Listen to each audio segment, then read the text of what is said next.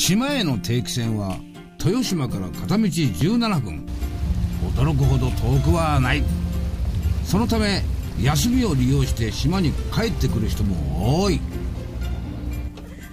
彼女も久しぶりに島に帰ってきた一人。この島には特別な思いがあった。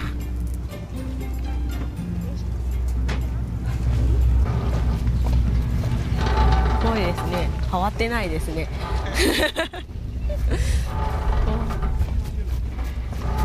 私が来た時まだここはあの木の板だったんですけど。です。よね。この間変わったの。なんでこの間工事した ですよね。何年ぐらい来たの？9年ぐらい来てない。あじゃあ俺と入れ替わりだね。ぐらいです榊原福江さんは五木小学校最後の卒業生だ入学から卒業までをたっと一人で過ごした。西岡福江。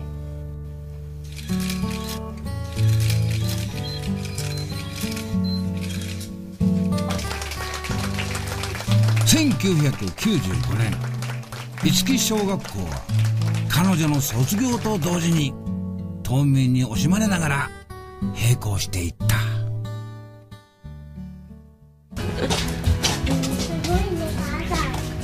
すごいでしょ？お母さんここ通って学校行ってたんだよ。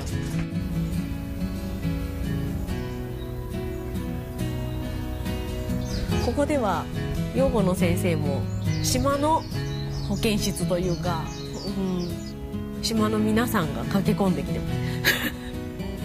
で白髪をのおばあちゃんが頭を真っ赤に染めて頭を押さえながら校庭をここを通り過ぎていって教室からそれを眺めて「あいけない授業中断」って言って保健室まで走っていってそれを先生養護の先生が介抱しているのを手伝ったりするっていうのが日課ではないですけどそれが普通のことだったので他の人に話を聞くとそんなことありえんでしょうってみんなに言われるのであ小学校の時の思い出って人よりすごい特別で深かったんだなっていうのを感じましたね、う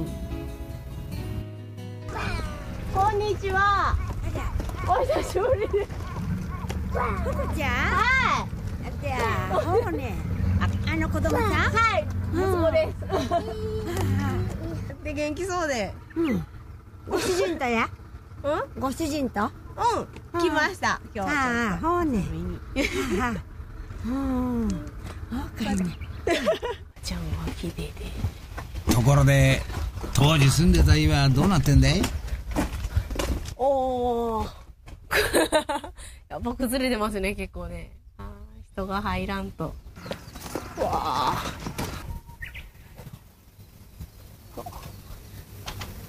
大変だ。すごい。どるああ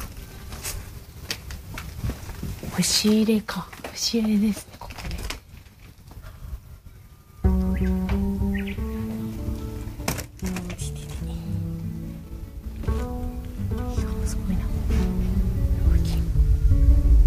不便だったなって思えば今気をこう喋ってて思い出すはずなんですけど全くそういうのも思い浮かばないので多分不便さも感じてなかったんだと思います。うん。この島のいいとこっていうのは？困っていれば損得とか利益とか不利益とかそんなん全くもうなく助け合うというか関わり合える人たちがここにいる感じですかね。うんそれってやっぱり街中とかうんじゃあ絶対できないことなのかなと。うんおこの場所は親父が整備した場所じゃないかいつ来ても変わらんのですね。おお来た来た来た来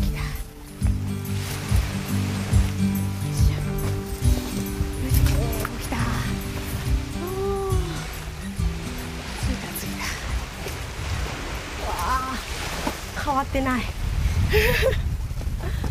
あーすごい